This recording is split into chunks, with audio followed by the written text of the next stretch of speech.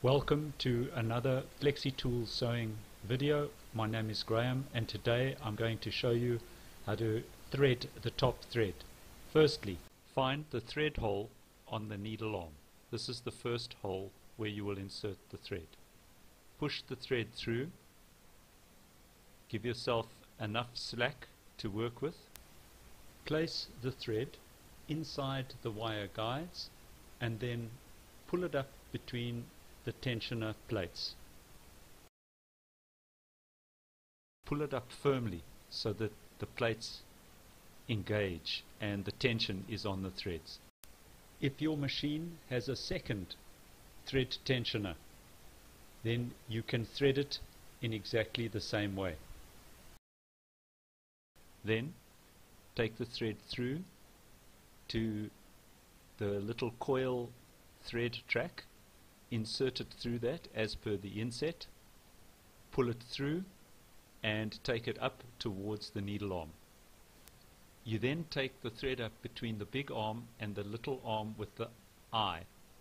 Pass the thread through the eye of the little arm.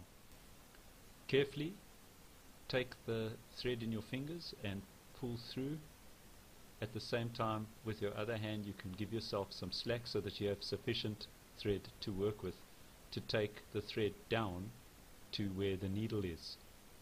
To do this you, you're going to use a small hooked tool which will grab the thread up the top. And to do this you push that little tool up through where the needle is attached. You see there's a hole there. That will go up to the top. As you can see it sits up there then what you can do is you hook the thread with the little hook on the end of that little tool and this will allow you to be able to pull your thread down through that barrel so that you can thread your needle. And you just do this carefully so that you don't shred the thread and you'll see that the thread will appear at the bottom and you are now set up to thread the needle.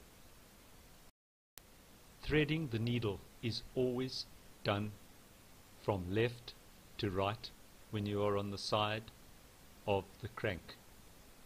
It's very important that you thread the machine in this way. The machine will not stitch properly if it is threaded from right to left. So remember, left to right always. Then you can lift your walking foot and take the thread tail through and you will have threaded the machine and it is ready to sew. That brings us to the end of our video.